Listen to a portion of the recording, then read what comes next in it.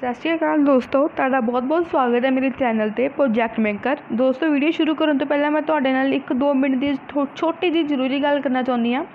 ਦੋਸਤੋ, ਜੇਕਰ ਤੁਹਾਡੇ ਬੱਚਿਆਂ ਨੂੰ ਜਾਂ ਤੁਹਾਨੂੰ ਸਕੂਲ ਵੱਲੋਂ ਜਾਂ ਕਾਲਜ ਵੱਲੋਂ ਕਿਸੇ ਵੀ ਤਰ੍ਹਾਂ ਦਾ ਕੋਈ ਵੀ ਪ੍ਰੋਜੈਕਟ ਜਾਂ ਫਿਰ ਤੁਹਾਨੂੰ ਵੇਸਟ ਮਟੀਰੀਅਲ ਕੰਪੀਟੀਸ਼ਨ ਕਾਰਡ ਕਿਸੇ ਵੀ ਤਰ੍ਹਾਂ ਦਾ ਕੋਈ ਵੀ ਕੰਮ ਮਿਲਦਾ ਹੈ ਅਤੇ ਜੇਕਰ ਉਹਨੂੰ ਬਣਾਉਣ ਦੇ ਵਿੱਚ ਤੁਹਾਨੂੰ ਕੋਈ ਵੀ ਮੁਸ਼ਕਿਲ ਆ ਰਹੀ ਹੈ, ਤਾਂ ਦੋਸਤੋ ਤੁਸੀਂ ਮੇਰੇ ਕਮੈਂਟ ਸੈਕਸ਼ਨ ਦੇ ਵਿੱਚ ਮੈਨੂੰ ਦੱਸ ਸਕਦੇ ਹੋ ਅਤੇ ਮੈਂ ਪੂਰੀ ਕੋਸ਼ਿਸ਼ ਕਰਾਂਗੀ ਕਿ ਉਸੇ ਦਿਨ ਮੈਂ ਤੁਹਾਨੂੰ ਤੁਹਾਡੇ ਪ੍ਰੋਜੈਕਟ ਨਾਲ ਰਿਲੇਟਿਡ ਵੀਡੀਓ ਪਾ ਕੇ ਅਪਲੋਡ ਕਰ ਸਕਾਂ ਥੈਂਕ ਯੂ ਦੋਸਤੋ ਅਤੇ ਆਪਾਂ ਵੀਡੀਓ ਸ਼ੁਰੂ ਕਰਦੇ ਹਾਂ Staring at herself in the mirror on the restroom door.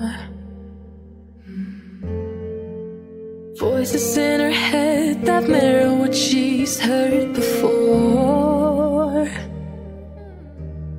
All the things they said to hold her back, they never seem to leave her head and tend to keep her mind at war. All the things they said to hold her back, they keep her locked inside of all the times when she's been hurt before. Her eyes are swollen as she tries to hold her tears back.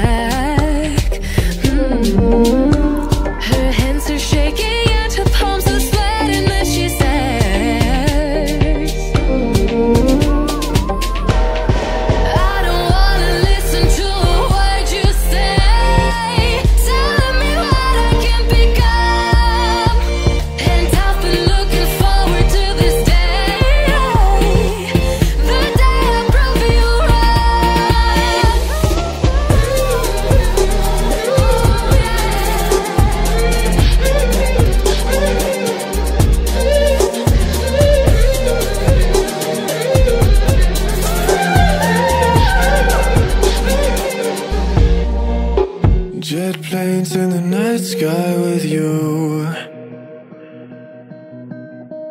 Getting high in the sunrise with you.